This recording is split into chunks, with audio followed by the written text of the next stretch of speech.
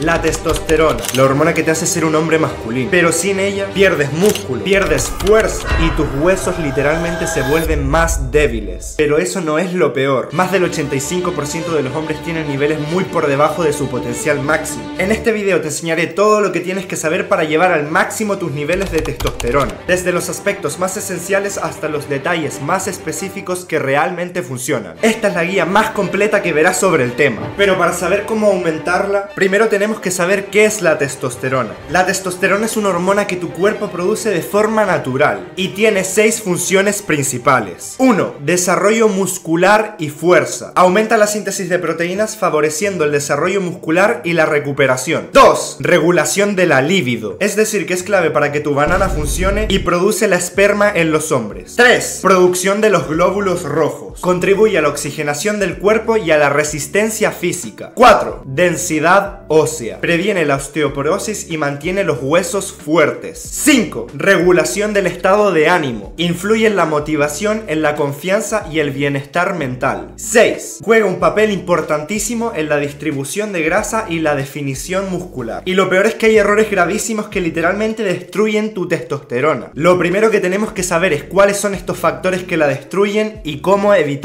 El primer error es la falta de sueño. Hay un estudio muy famoso que encontró que los jóvenes que solo dormían dormían 5 horas por noche durante una semana, vieron caer su testosterona un 15%, que es lo equivalente a envejecer entre 10 y 15 años hormonalmente. Para ello tenemos que priorizar dormir entre 7 y 9 horas de máxima calidad. Hay un video completo en el canal acerca del tema. 2. Tener un estrés muy elevado. Cuando estás bajo un estrés constante, se libera cortisol y esto hace que tus niveles de testosterona se reduzcan drásticamente. Para esto puedes aplicar técnicas de relajación como la meditación o simplemente dar un paseo. Dormir bien y hacer ejercicio lo reducen de forma muy efectiva. 3. Tener un porcentaje de grasa corporal no óptimo. El tejido graso convierte la testosterona en estrógeno, que es literalmente la hormona femenina. Cuanto más grasa tengas, menos testosterona podrás producir. Pero si tienes un porcentaje de grasa muy bajo, puede suceder exactamente lo mismo. Lo mejor es mantenerse en un rango de 8 y 15% de grasa corporal. Este rango es perfecto para maximizar los niveles de testosterona y es muy recomendable que nos mantengamos dentro de este intervalo si estamos en una etapa de definición o de volumen. 4. Hacer un déficit calórico extremo o prolongado. Estar en una dieta muy restrictiva puede ser tan dañino como tener sobrepeso. Al estar en un déficit calórico severo, tu cuerpo ahorra energía, reduciendo la producción de testosterona para dirigir esa energía a funciones esenciales para el organismo. 5. Consumo de comidas ultraprocesadas y azúcares. Un ultraprocesado es un alimento industrial lleno de ingredientes artificiales, como conservantes, colorantes y saborizantes. Estos alimentos están diseñados para ser adictivos y poco nutritivos, como refrescos, galletas, snacks y comida rápida. Su consumo frecuente puede afectar drásticamente tu salud y reducir tu testosterona. Para identificar un ultraprocesado es muy simple. Si te pones a leer la etiqueta del producto y hay nombres raros o más de 5 ingredientes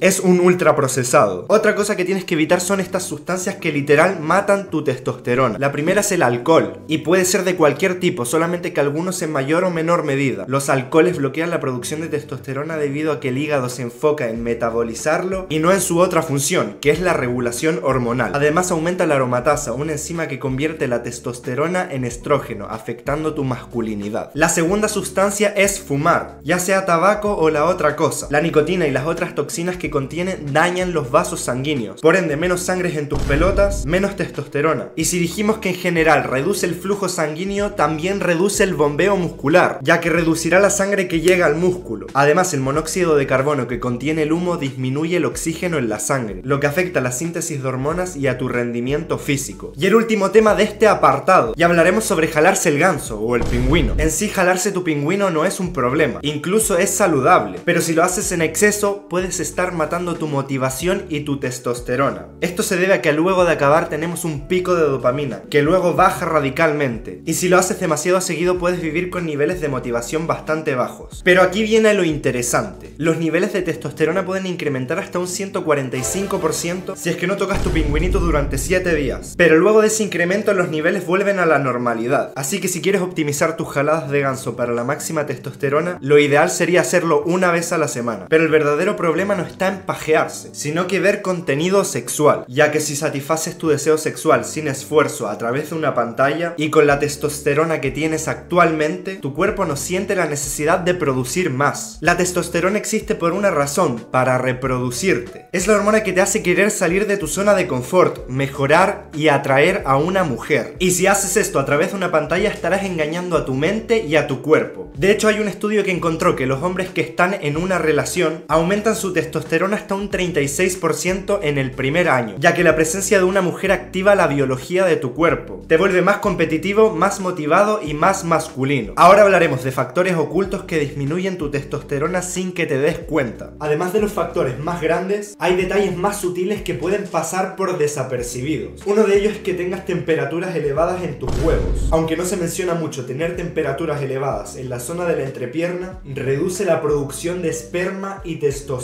De hecho, por eso mismo nuestras canicas están fuera de nuestro cuerpo, precisamente para estar a 2 o 3 grados menos de la temperatura corporal. Cosas cotidianas como usar el portátil sobre el regazo, baños de agua caliente prolongados, o incluso ocupar ropa interior muy apretada pueden elevar la temperatura de tus pelotas de fútbol y perjudicar la función testicular. Para ello es importante mantenerlas frescas, sobre todo en verano. Exactamente por eso mismo las duchas frías pueden ser muy beneficiosas, ya que además de hacer eso aumentan los niveles de dopamina y de energía, reducen el cortisol y mejoran la oxigenación y la circulación de la sangre, debido a que los vasos sanguíneos se dilatan. 2. Los disruptores endocrinos. Estamos rodeados de sustancias que limitan nuestras hormonas y confunden el sistema endocrino. Los plásticos que contienen BPA y fatalatos, presente principalmente en envases, botellas y envolturas, liberan compuestos que interfieren con las hormonas naturales y se han vinculado con problemas reproductivos. Por eso es importante que cuando bebas agua en una botella de plástico diga BPA free que significa que no tiene BPA. otra opción es tomar agua en botella de vidrio o en un termo de acero. Otros químicos como los pesticidas y las colonias también pueden afectar, ya que también contienen estas sustancias. Por eso cuando te eches colonia no te la eches en el cuello, ya que ahí entra en contacto directo con la piel, y es mejor que la eches encima de la ropa.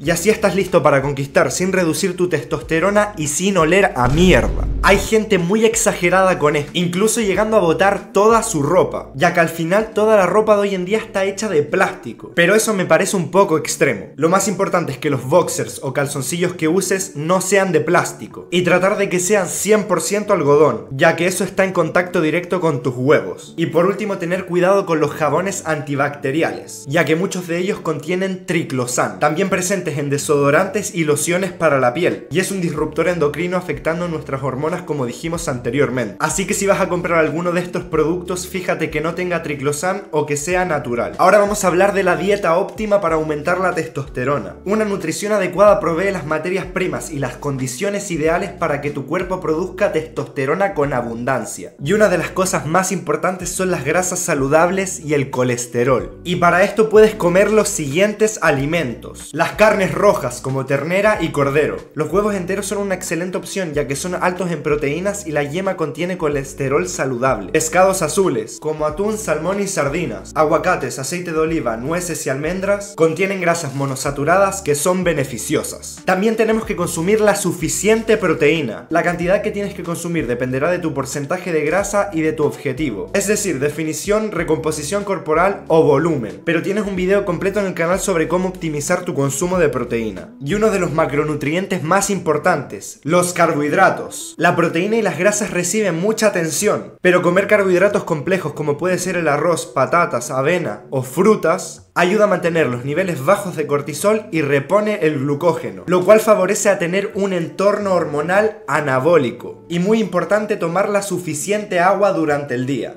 Ahora hablaremos de las vitaminas, minerales y suplementos que van a maximizar tu testosterona. El primero y uno de los más importantes es la vitamina D, ya que es fundamental para la producción de testosterona. Puedes obtener vitamina D mediante la exposición de sol regular, entre 15 y 20 minutos por día, pero aún así a veces puede no ser suficiente, y ahí es cuando es recomendable suplementarse. El solo hecho de tener la cantidad suficiente de vitamina D puede aumentar tu testosterona entre un 20 y un 30 para saber si tienes deficiencia de algo, lo mejor es ir a un médico, ya que yo no soy ningún puto doctor. Otro mineral crucial es el zinc. En un estudio a hombres jóvenes se le restringió el consumo de zinc durante 20 semanas y su testosterona se redujo un 75%. Con el simple hecho de comer carnes rojas, pollo, nueces y semillas, tendrías buenos niveles de zinc. Pero si no, siempre es bueno suplementarse. Luego el magnesio apoya la función nerviosa y muscular y mejora la disponibilidad de testosterona libre. Buenas fuentes son verduras, frutos secos, cacao y legumbres. 4. La ashwagandha puede aumentar tu testosterona hasta un 15% debido a que reduce los niveles de cortisol. 5. Suplementación con epicatequina, que es excelente porque reduce los niveles de miostina en el cuerpo. La miostina es una proteína que le pone un límite a tus músculos. Es como un freno natural para evitar que nuestros músculos se hagan enormes sin control. Si tienes menos miostina, tu cuerpo permite más crecimiento muscular. Hay niños y animales que nacen con esta deficiencia, permitiendo que su cuerpo gane músculo fácilmente. Se encuentra presente en el cacao y en el té verde, y puedes conseguir disminuirla hasta un 18% con 50 miligramos de epicatequina al día, que aproximadamente equivale a 5 o 10 gramos de cacao en polvo. 6. El boro. Si consumes 10 miligramos de boro durante 30 días, tu testosterona libre podría aumentar de un 20 a un 30%. El mayor aumento ocurre en la primera semana, que puede llegar a ser de hasta un 28%. Luego ya se estabiliza. Para conseguir 10 miligramos de boro en un día tienes que consumir estos alimentos. O si no, puedes